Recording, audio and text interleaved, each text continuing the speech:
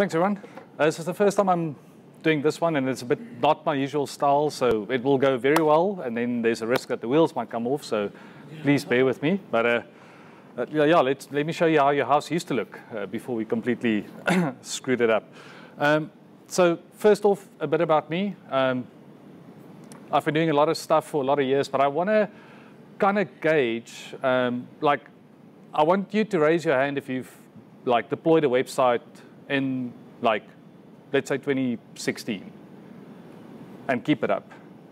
And then drop it as I start going back, 2015, 2014, 2013, 12, 10, 9, 8, 7, 6, 5, 4, 3, 2000, 99, 98, 97.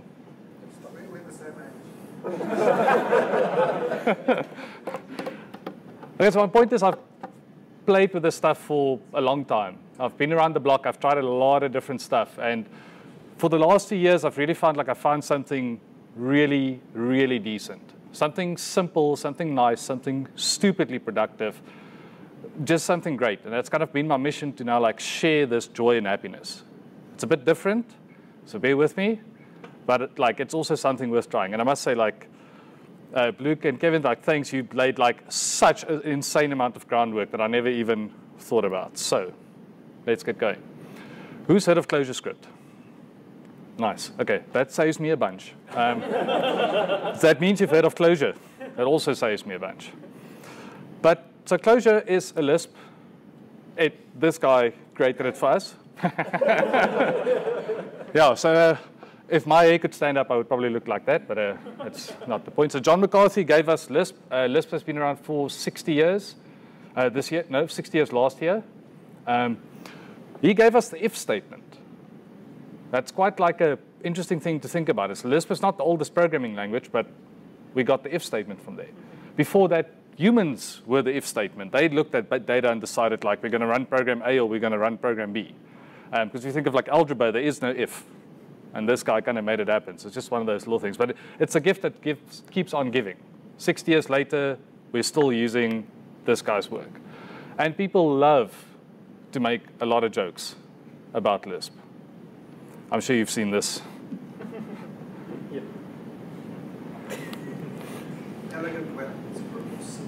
Yep. But what I want to show you is, even within the Clojure world, there's this ClojureScript, I think, is the most attractive part of, of Clojure. Backends are a heavy thing to go and replace and rewrite. Um, a front end, um, conceptually less so. probably more work, but if somebody wants to like apply a new framework or bring a new hammer to the problem, the front end is probably where they're going to start. So, and within the ClojureScript world, there's been a lot of activity the last few years. It's been crazy. People are really like figuring out what this means and how to make it easier for people to get on board. Because like the goats uh, hinted towards us, like there's a mind shift. That's probably the biggest thing with switching into functional programming is never the syntax or the functions. Like I hate to admit it, like that stuff's it's simple. It's the mind shift that's the big thing to get across. And uh, having nice tools that eliminates a bunch of other stuff and just get you going in quickly eases that mind shift. So I want to show off Shadow CLJS. This has been like quietly growing up in the ClojureScript world. It's like four years old already. Uh, the guy who built this had like a great focus on how can we get ClojureScript and NPM basically to work together seamlessly. Clojure being a hosted language prides itself on great practical interop. It's really, really important. It's not like some of these other transpiled languages where they go like the host language is over there. You know, you've got to do a bunch of effort to get to that side, and, and you've got to remain in this like very pure world that's like created in whichever way. It's super pragmatic. You're on the JVM, you need that JDBC driver, you use it right there, right now. You need that weird PDF library, use it right there, right now. And later you clean it up. Same on the JavaScript side. If you want to use jQuery, you just like reach out to dollar and go. I mean, it's, it's nice. It gets you going. It gets you moving forward. It's something I personally don't like about something like Elm, which puts up this huge barrier. You've got to use this port interface to do this dance. It's, we're building stuff, man. We want to get stuff done. There's deadlines. It's tight. Like, we've got to deliver. That stuff's important. So This guy came, came at it from another angle, and it works really, really well. So what I want to show you, which turned out to be non-trivial, which I'm quite happy about, is unrolling a tweet storm. I'm sure everybody's kind of familiar with what a, a tweet storm looks like. I also want to use as much of NPM as is possible. And in this case, it's really impractical. But I want to show like how this different language is still a good player in the ecosystem that it plays in. It's not trying to be something, it, it, it plays ball, essentially. And as part of our exercise, we're going to produce a single JavaScript artifact that you can just take out and, and, and use anywhere with Node. So I said it turned out to be non-trivial. when you get a tweet, you can't actually ask Twitter, like, what's all the replies to this? They can do it, because clearly they show you this, but you've got to do your own black magic.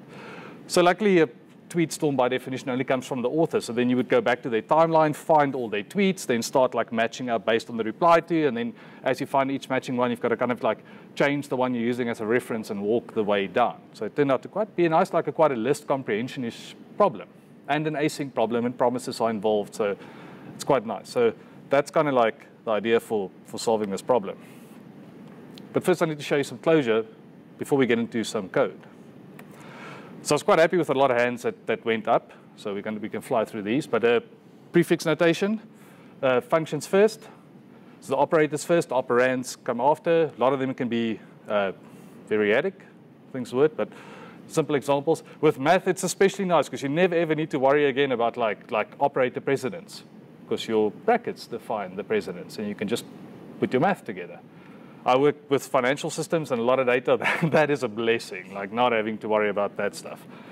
Same with giving stuff names and being able to use them. So um, it's not a variable, but a, it's a named value. In Clojure, we call them symbols. Yeah, so in that case, X is a, so actually, and the star is a symbol. Just happens to be bound to the function.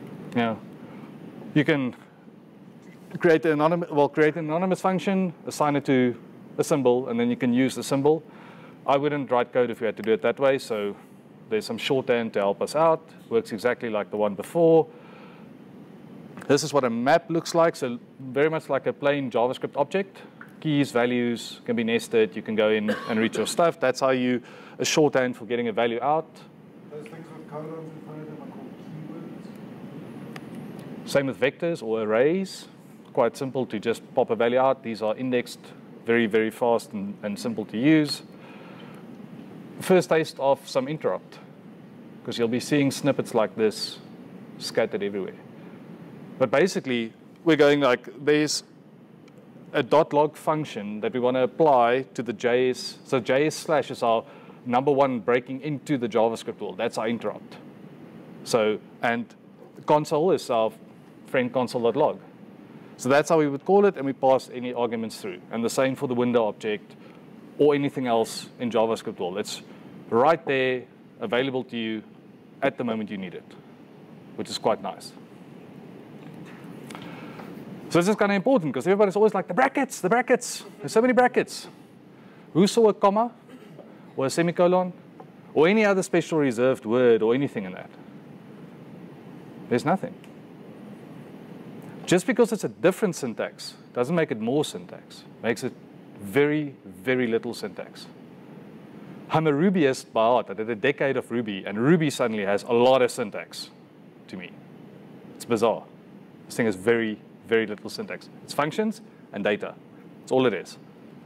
And from that simplicity, those building blocks comes something spectacular. But it comes at the cost of a bit of a paradigm shift. So back to our problem. We need to get a tweet. We need to find the timeline. We need to start sifting through this mess to reconstruct. So Sarah Mei is probably the queen of practical tweet storms. I think she abandoned a blog for this. So this is the exact kind of chain we're going to unpack in this case. So now, something I'm not used to doing is like just walking through code. So but before I dive in here, any questions at this stage of the match or like something that might need some context or clarification? Or do you just want to dive in and see it happen?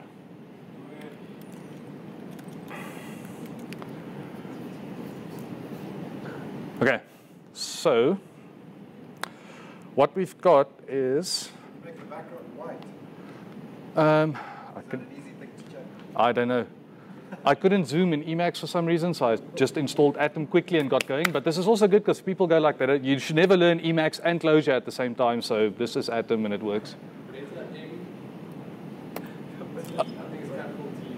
Oh, you mean in Emacs? Uh-uh. It, but it, something's broken with Emacs Mac. We're not going there. I tried earlier. It's a disaster. I'll show afterwards. Like it's a, it's really a disaster. We, we're not going there. So, but the nice thing is you're not bound to Emacs. So it's also like if you have different tools to use, there's different tools. This is Atom, yeah. Hmm? Where does, I will make the background white. So you guys can see it. Check the better file. And then it should be in just another file. Which one? Right. That's a white. Point.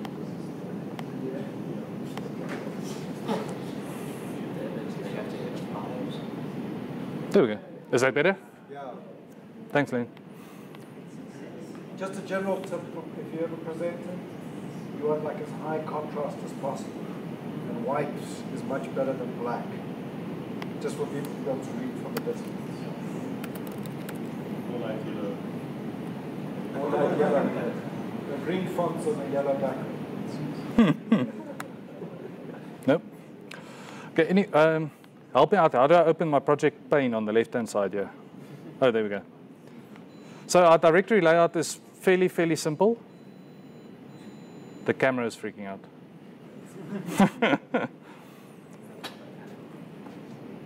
we... it's memory card full.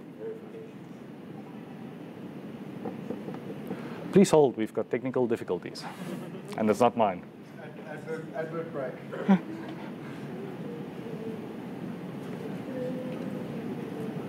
Quick question. Yeah? The JS interop uh, that you showed earlier where you called .log with uh, JS console as an argument, why did they go for that rather than JS slash console dot log is the It's function the and then you give arguments? object. Yeah, you can you can do it the other way around. You can just go j slash console.log, but that actually ends up reading weirder. Oh, it's actually a macro. Is it? Yeah, that rewrites. It's funky. I can see more. Okay, Yeah, so So in, in terms of that question, where you saw that syntax where you went the method first and then the object name, it's very interesting if you go to the history of that because Yeah. it took Bertrand Meyer like a hell of a long time to figure out you could go object dot function. You always used to call the function first. You say, I want to do this thing with this object. Know, today your compiler rewrites that second parameter, or inserts that second parameter as this implicitly if you're in Java or C Sharp or wherever, this comes in JavaScript environment.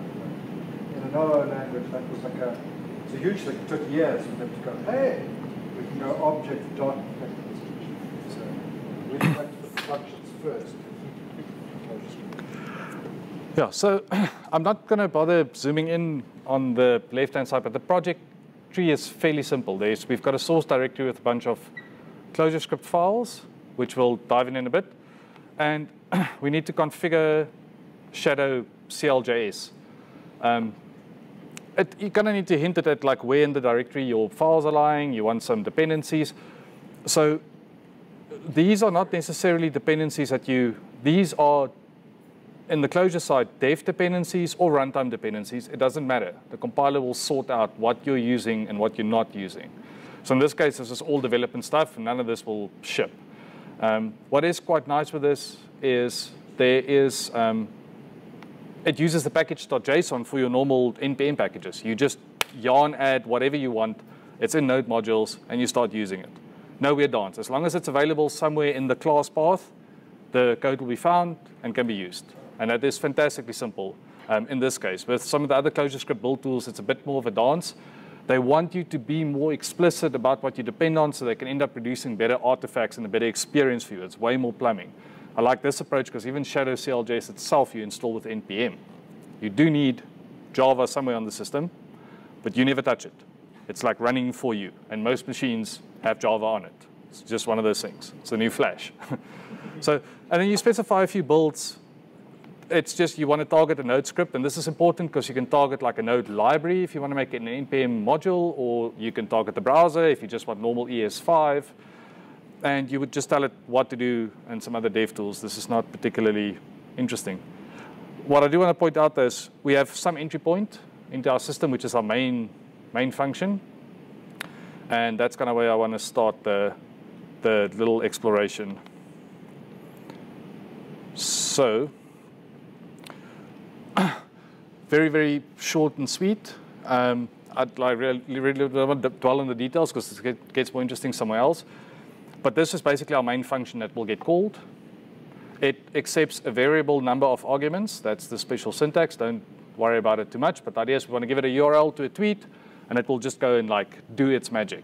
But as far as like entering as a CLI point, that's all we want this thing to do is basically get the tweet ID and call something else. So if you think if you want to reuse the same code in like a express handler, you would do the same thing. Like you'll just like pass however you get the tweet out of your express um, environment, and you would want to call the same thing and have some magic happen. And then we dive in and we unroll our tweet.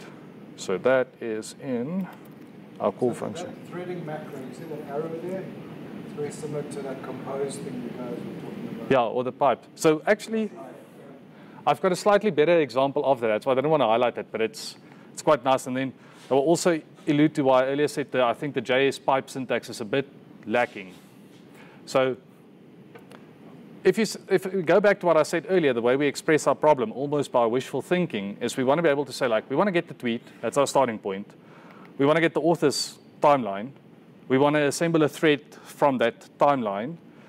In this case, we kind of need, we have this funny need to expand the tweets because when you read the timeline, all the tweets are truncated, which is quite pointless. We want to have the full thing, so we want to be able to just expand them all, and then we want to print them all out. So what this threading operator does here is very much like the pipeline. Uh, the, this is the normal, I think this is what the ES pipeline is coming through exactly. So we start off with this function. Whatever its value is becomes the first argument to this function. Whatever it returns becomes the first argument to the next one. Whatever it returns, the first argument to the next one, and so it goes. There's also, and this is the, my thing with the, the ES syntax, is if you look right above here, we have a slightly different threading operator. This one pushes everything to the end. So now that's a thread last operator. And the way Clojure kind of deals with it, well, the standard is when you've got a bunch of collect functions operating over collections, the collections always go at the end. So map with the function, and the collection goes basically there. That's what happens. But the threading operator rewrites our code. And then we want to interpose some value into a collection. And we want to join with that as joining our string, and we'll have a collection there again. And then ultimately, it pops up at the end for console. So we've got two ways of threading, thread first and thread last. And there's five more ways, depending on what you want. It's a massive toolbox. There's conditional thread first, conditional thread last. There's an as threader, which can handle like any kind of weird mutation you've got if you want to string some stuff together that doesn't work, and a few others. It's a fantastically practical toolbox, and that's why like Elixir simple pipe first, and the ES thing I'm like mm, like a bit this this is really nice. This is like okay anyway. So sprinkles of interop, and this is kind of what I hinted at. Like sometimes it gets a bit iffy. this is an entire promise chain, and then eventually we need to call then like at the end of the chain to do something. And I did this because I didn't want this function to be promise away. Um, it was just as simple as that. And I wanted to kind of show that this stuff's possible. It's not how I think I would write this myself, but um, that's okay. Um, so let's go and unpack it a bit. So the get tweet basically just calls a function in a different namespace. Namespaces and Clojure is a way to like organize your code. And the way to think about it is organize the code by the problem space, not necessarily the solution space. So especially in OO, if you think like Rails, Grails, or any one other, other these frameworks, Ember, Angular, whatever, like you've got your controllers over there. Like it's the solution to one problem goes here. Models is a solution to another problem. All your solutions get bound together. Your views live in one place. Something in Clojure that really shines, and took me a while to figure this out, and I was saying to just a random mailing list article that I read, is like structure your code around the problem space and package everything together that's about the problem. And that is a, like, it's an interesting twist on, on just like your folder structures and where you put stuff, but it is fantastically powerful and a nice way to reason about things. And then if you ever get like the microservices thing like going and you now need to like split everything out into gazillion things, you just start taking whole namespaces and you just deploy them separately without ever touching the rest of your code. So it's, it's very flexible. So what does our little API look? Here's some, an example of some interop. So in a Clojure namespace, we, we need to kind of require our external dependencies that we need for that code to run. And that all happens as part of the namespace definition. More specifically, it happens in this require block. So here's a few things going on. The first is that Twitter is the NPM package. That's in my package.json, actually. I keep saying this, but there's the Twitter gem. Uh, npm package. Whoops. you see, like, but this basically yanks in Twitter. It exports one function, and I want to get a handle on it. this goog.object, this is the Google closure library. Like the naming is quite crap. I don't know who to blame. But there's like the ones with an S, the ones with a J, the ones language, the other one's a super powerful library that you very seldomly use, but that gives you a great bunch of stuff. And This is just some other utils, and that's basically means, that's basically I made a little function that does promise.resolved with the value. But I just wanted something nicer, and I just want to go like, as promised, here's your value. So we want to read some config out of the environment, and this is your normal like node.process, uh, process.env.value. I just tore it up a bit, and I just went like, I want to get off JS process, the env key. I've got that, and I can just basically go and read my other values off. And this ends up looking something like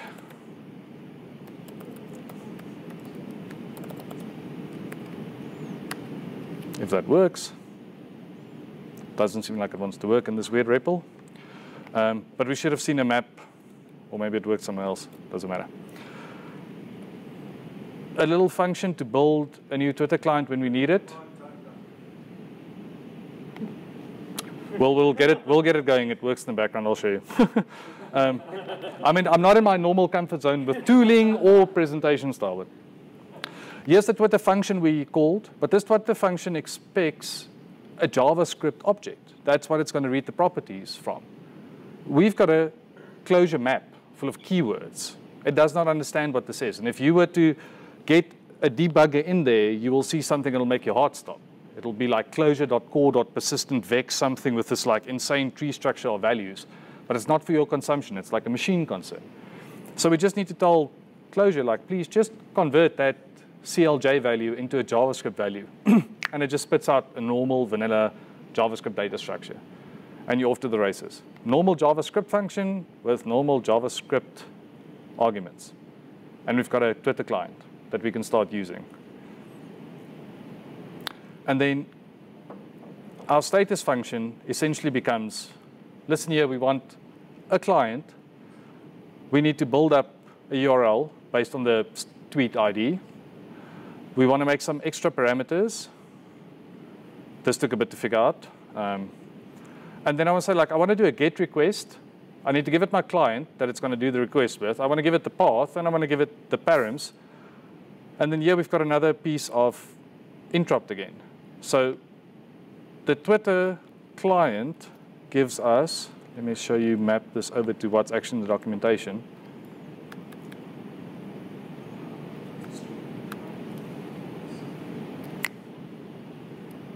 Do I need to zoom in more? Oh, there we go. Whoa. Okay. so, so that's basically what you saw happen in build client. Is exactly this little loop that CLJ to JS on the map basically gave us out this JSON object. and we catch the return value and we can use it. And then the rest of the API is essentially calling get, post, or stream with whatever the Twitter path is, the params, and a callback. Or if you drop the callback, it turns into promises. When promises are available, we are node, it's all happy. So that's kind of what's going on here when I go, I want to call the get function on the client. So this is interop. That's already like a sign that we're interrupting with something else. With a path, and again, we've got these arguments that need to become a JavaScript object. And they just go in, that returns a promise, the promise is threaded to with the thread first operated to over here, so it would essentially be the same as promise like that.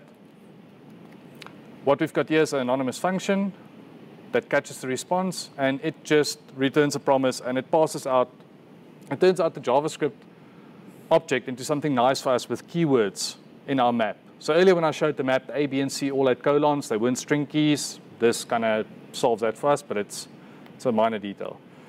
So we can get a tweet. Then I'm not going to show you the implementation of this because I think it's going to derail us, but I made this little macro. So a macro in Clojure, although it's, it's something that the community pushes against using because macros are like a black art and they're difficult to debug and they don't usually play well. I think for the first time, I, like in two years, I found a good use case for this. And it's where I just basically, imagine you've got a function, it gets an argument, it tests if the argument's thenable. If it's not thenable, it basically calls itself again with a resolve promise. Else, the function goes on, assuming that it's inside the then. So you've got this nice thing where you can work in the REPL, and you can play with functions. You can just call them as you need them. And when you put them in a promise chain, they keep on working exactly the same way as, as before. And I found this was quite a nice like way to just make this custom thing called def then. So Clojure macros are functions that return new code that then get executed.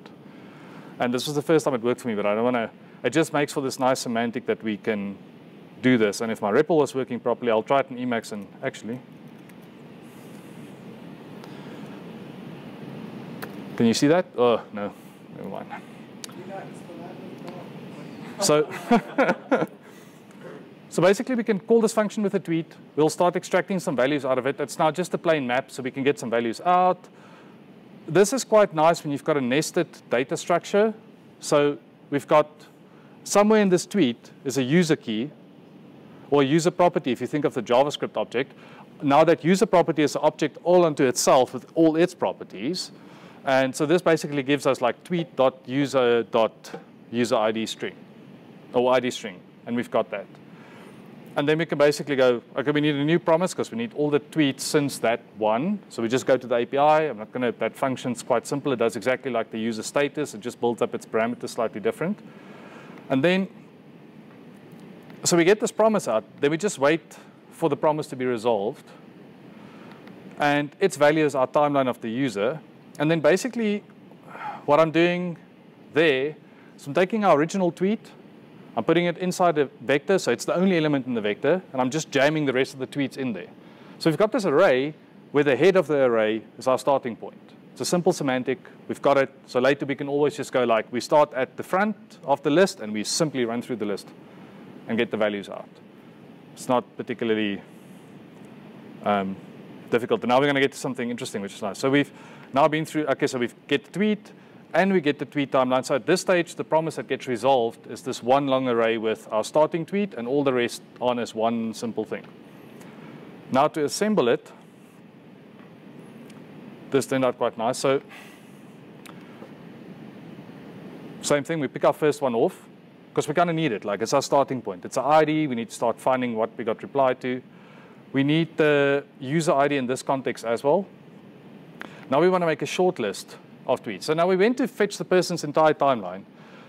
Even though they're busy with this tweet storm, they might be replying in between to other people's interesting comments. So it gets a bit like crazy. So what we want to do with a, for a short list is we just want to go like, look, firstly sort them by created at because we actually have no guarantee that Twitter's just going to give it to us at time. And we're actually in this, like, I mean, I'm assuming a human like typed out these things, so there's gaps between, but we've got no guarantee otherwise that these things can't come in at exactly the same point in time. So you might want to sort it by the ID as well. And you've got no ID, like no guarantees that Twitter actually gives IDs out in order. They've got a super complicated distributed system just for giving out IDs. It's a bit of a mess. distributed systems are hard, but we just want to go like sort by created at, and we only want the ones that reply to the original user. So now we can at least get the list down to something, and then we can start assembling our tweets. So let's just unpack these quickly because they're quite short. Sort by created at is literally sort by with a property and then how to sort. So it will, like, what's quite nice here, and this is kind of hints to the functions as first-class citizens, that's key to functional programming, is that is the function. It's not a special symbol that means yay or nay. You can go put any other function in there.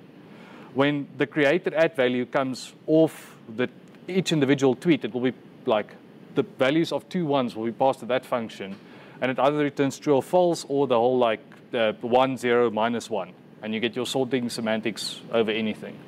It's really powerful. It's, it's quite nice. But that's the function itself, not some special keyword, not something reserved or like, it's it. It's a function. And yeah, I wrote out two examples of, and here's like our first example of composing functions in Clojure. But let's look at this one. Filter does exactly that. You give it a predicate function and a collection. Every time the predicate returns true, the value survives. It will like come out on the other side. If it doesn't, it's false. and it's as in this case, we go, we've got a user ID, and the user ID is getting checked inside. That's our equality check. So that's our equality check. That's not an assignment operator.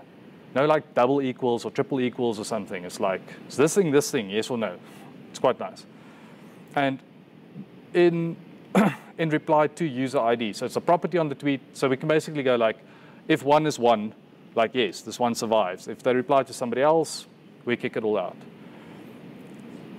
What's nice though is we can also do some interesting shorthand. So now we can compose two different things here. Keywords act as functions on maps. Earlier in that example, I showed like, oh, we've got this map, A is 1, B is whatever, and I basically went like, to get the value out was colon A in my map. And we got a value out. That's as if we applied a function to the map. It can work that way. It's a beautiful little shorthand. So in this case, the first tweet comes in, and we say we're going to apply the function in reply to user ID string on you, and we're going to get a value out. Then the second one, so now like the guy said, like we work it from right to left. The second thing is we're going to now take that value, sets. This is shorthand for creating a set when you use hash and the curly braces around something. Sets are functions of themselves or of their members. So now you can basically go, I've got a set of one, two, three, is one in here, and it will return one. Is four in here, it will return null. So you, from these two things, you can compose like a super short concise way of filtering through data. And this becomes like a really nice way to express filtering problems. And this becomes the kind of thing that you can give users like toggles in UIs, and they can start building out the predicates that you compose for filtering like a massive amount of data. In this case, it's nice and simple and small. And this scales out, which is absolutely fantastic. And this whole thing gives us a new function. Uh, it's pity my REPL's dead. Um, Oh. I'll see if I can get it connected. I'll show you how it works. Anyway, okay. So what, what did we do here? So at this stage, when our assemble threads got called, we had one huge list of all our tweets, including our starting point. We made a short list, which at this stage is basically they just order it by date, and it's only the person replying to themselves. We've got no guarantee yet that it's actually part of our tweet storm that we're unrolling. And then like one of my favorite functions and one of the most powerful functions, I guess, in functional programming period is reduce. Who's played with reduce in any way, shape, or form in any language? Yeah, okay, cool, that's great. Like, that's like, sweet. So basically we end up, our first arguments are reducing function. We need our, to start out our accumulator with something. So we just want to say like, I'm going to start with our starting tweet, and then we give it the short list. Now, our reducing function basically, in this case, gets called with, this is our thread. So the first time it gets called, it's only our starting tweet. And, this, and that tweet, in this case, is actually the starting tweet as well. So the first one's a no-op. Uh, it'll just run through. Uh, but if you think the, the second iteration on here is we will be able to look back at our accumulated thread and we go like, I just want the last one. I just want to check if this new one I got is in reply to that one. And we're hoping it's kind of true. Like this is very wishful thinking that our earlier sorting like got the whole chronology right. Because if something's out of whack, we'll miss it and our thread will be broken. So very optimistic thinking. Um, and then basically like it boils down to if they if our previous ID matches our in reply to on the current one, we just want to conjoin it on the thread. So basically append it to our thread list. Otherwise, we just give our thread back. Should have mentioned earlier, Clojure has the implicit returns. So that explicit return inside the debugging functions, all of that's gone. The last value is always the one that propagates up. And in an if statement, in this case, thread will just pop out. It becomes our new accumulator, and we go through every one in the list. Uh, this morning I had like a loop that wouldn't have fitted on the screen, and it was quite nice to actually tear the problem apart a bit and break it down into a ton of functions and be, there we go. So that's kind of a sorting problem. This one I was also quite happy with. It turned out quite neat with the, the interop. So basically, so now we've got our thread, but Twitter truncated our values. So that basically means now we need to go make an API call for every single tweet because we want the full text. That's essentially what we want. So this becomes a very, very simple map function with an anonymous, um, anonymous map function. And they do provide this property whether the tweet's been truncated, yes or no. So basically go, if it has been truncated, so this would return true, like go get me the full tweet. Otherwise, just resolve a promise immediately with whatever we've got. There's no need to go out over the network. And then all of this gets piped to promise.all that we all know. So now that will like neatly do its thing and give us a new one out. And then that's basically the expanding part. And then we finally terminate the promise with the print head. And yeah, I also went a bit bonkers again was just showing off the interop. Who's used chalk to do like colorized output in node scripts and the terminals and stuff? Yeah, so that's like most of your tools that when they do nice colors and it, it ends up being chalk underneath. So I was like, well, let's play with it a bit. So we create like a little separator so that we can distinguish between our tweets. And then the same thing here. Now we're just going to do this list processing. We just start off with a bunch of tweets. And the first thing we're going to do is we want to turn them into something printable, which in this case is just a simple string of the full text, a new line, a dash, and the date. And the date kind of helps us to see if the chron chronology is right. And again, the interop. So chalk got required out of NPM directly. And we're just calling the blue function on it and passing the raw datetime object in as its argument. And chalk does its work. And returns us, well, I assume a string or something. It's got like the ASCII encoding that the terminal wants. Uh, we interpose a separator, just so we've got like a nice line between everything. And we join it all with a new line, and we send it off to console.log. And we are done what that ends up, oh, I changed networks. Yeah, yeah, I'm going to zoom in now. this is not exciting. This is just a build tool. It's so exciting. but that's basically, it's just, it's just running through Yarn, um, Yarn Shadow CLJS. So this side, there's our spoiler up there, damn it. there basically gave us exactly what we wanted. But what I, yeah, I knew. There's an unrolled tweet storm. But what's important here is the, what you're seeing here on the terminal is a node process connected to a separate like Java process that's busy driving out all the stuff, although you started it out with, we started it out with Yarn. And then in our REPL, so this thing should have died now, but let's just kill it properly. proto Okay, connect, localhost that, done. Okay, sorry, I've got a little dance here that I'm still figuring out.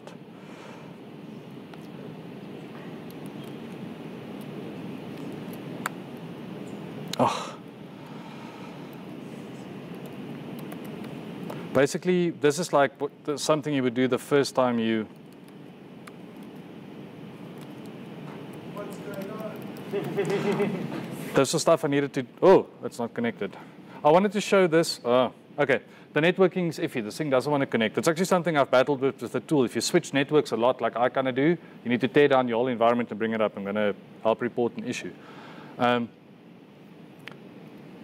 but here,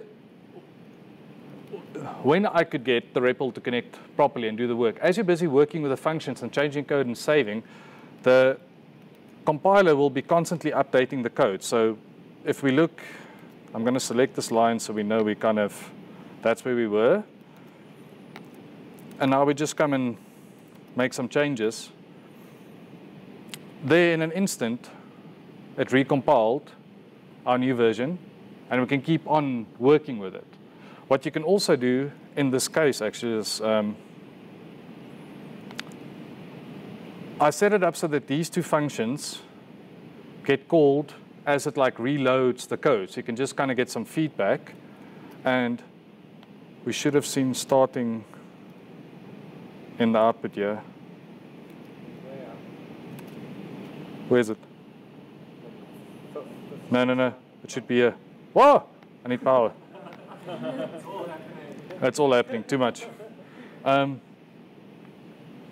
yeah, that's kind of that part. Um, sorry, but I, like I feel like I'm dragging on. I just want to show you one last thing. In this case, I basically compiled out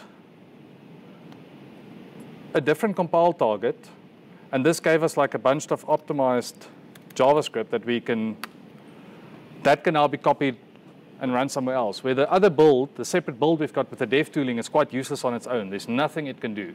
But it's specifically there for going through the development loop, where this one now becomes a piece of JavaScript that looks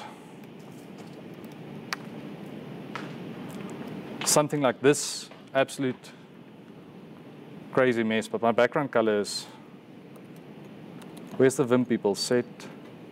Set BG space. Is that better? Yeah. So this is the kind of boring, boring JavaScript that Clojure spits out for us. But there's everything with proper node stuff in between. It's quite a beast this way. um, okay, I'm going to try this. I haven't. So you guys another example. Let's see if we can get an advanced compile. No, I need to configure it. I'm not going to do it. Um, if you use the advanced compilation mode in the Google Closure compiler, so the Google Closure compiler is a key underpinning of how ClojureScript work, and this thing is absolutely amazing. I feel like Google has spent so much work in this compiler building something that powers all the web properties. Like tree shaking is now becoming a big thing in the Webpack world, and people are trying to solve this problem, and it's a hard problem. I mean, I take my hat off to anybody who like, I wouldn't want to tackle that. But it's been in the Google Closure compiler for like a decade.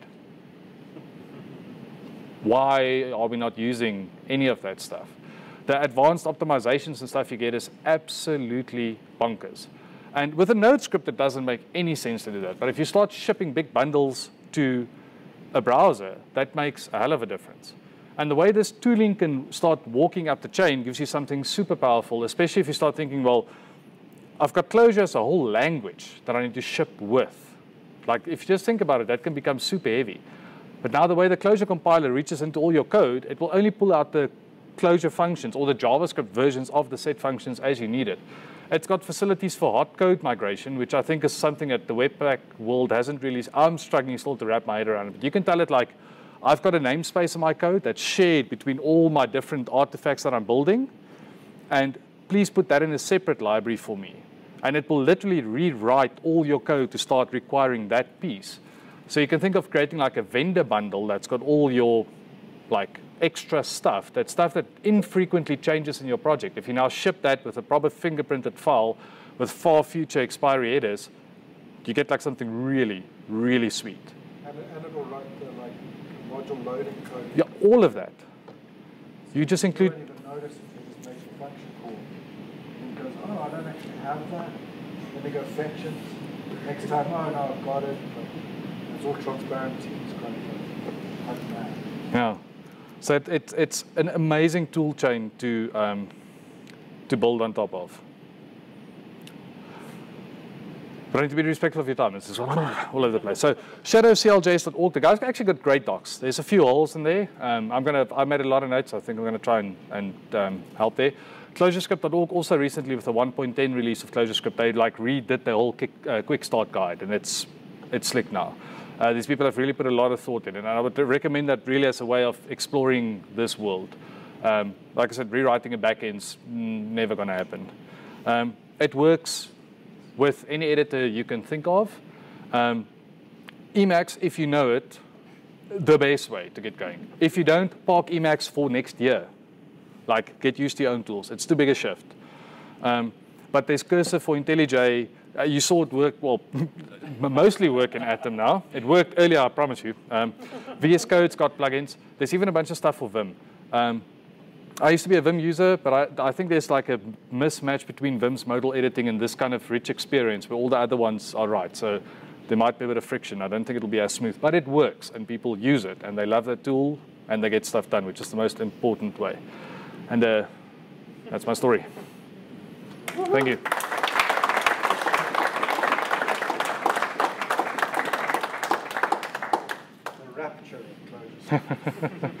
uh, that was a bit all over the place. Um, any questions? So uh, to point out, you were talking about closure, Google closure project earlier, right? C-L-O-S-U-R-E. Yeah. So the interesting thing, Angular, mm. Angular, mm. they, as a part of their CLI, ship Webpack. Yeah. So when you build your stuff, they, you use Webpack to, to do the tree shaking, etc., etc. But when they build Angular, they use Bazel and Closure. Okay. They don't, use Webpack. Yeah. They can't get it small enough.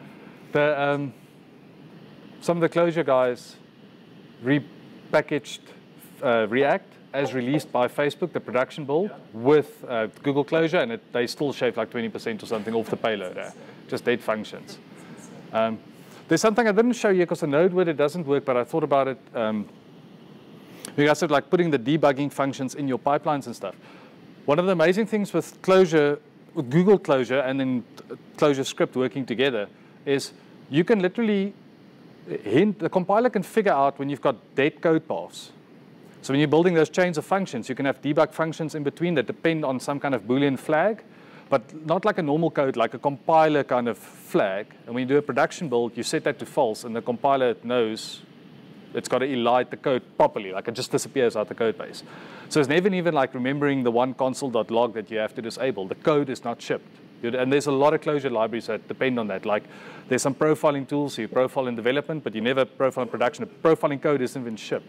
If you use trace and debug log statements, you can tell the compiler like, look, I'm never going to switch my app into that those low levels of debugging in prod ever, so just strip it all out the system. And it doesn't even ship. Like it's. There's a super nice demo on the Google Closure site where they take like a big chunk of JavaScript, it's got like some functions, some of the functions don't get called, and then you run it through the like normal one and da, get this.